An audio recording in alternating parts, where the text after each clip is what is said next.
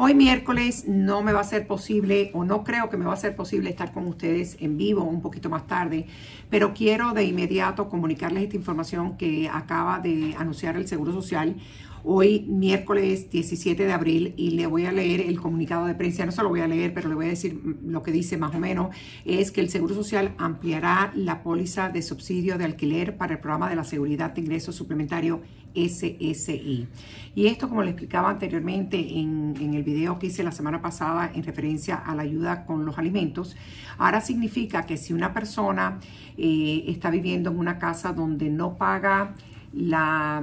renta que es debido, es decir, una persona le está rentando un apartamento a menos dinero que el valor actual, anteriormente o con las leyes actuales, el Seguro Social le contaba esa diferencia entre la ayuda que le daba la persona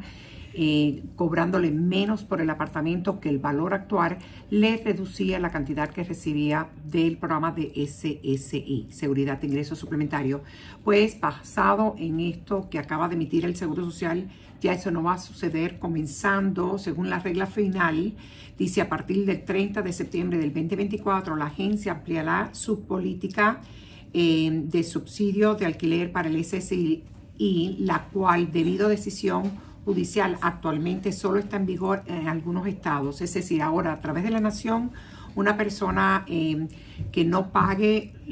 una renta puede recibir hasta el máximo. Eh, les voy a traer más información en cuanto tengan más tiempo, pero quise llevarles esto a ustedes de forma inmediata porque esto le va a aumentar lo que reciben las personas de la seguridad de ingresos suplementario a partir del primero de octubre y también significa que muchas personas que no son elegibles actualmente a la seguridad de ingresos suplementario pueden ser elegibles basado en este cambio de ley. Le voy a poner debajo el comunicado de prensa completo, pero voy a tratar de estar en vivo con ustedes esta noche si me es posible. Ya les explicaré la dificultad que tengo, pero bueno, eh, no es nada, nada serio. Pero eh, sí es que están cambiando las leyes eh, sobre cómo se van a procesar los casos de la seguridad de ingresos suplementarios y va a resultar que muchas personas que no son elegibles actualmente van a poderlo ser a partir del primero de octubre y algunos que están recibiendo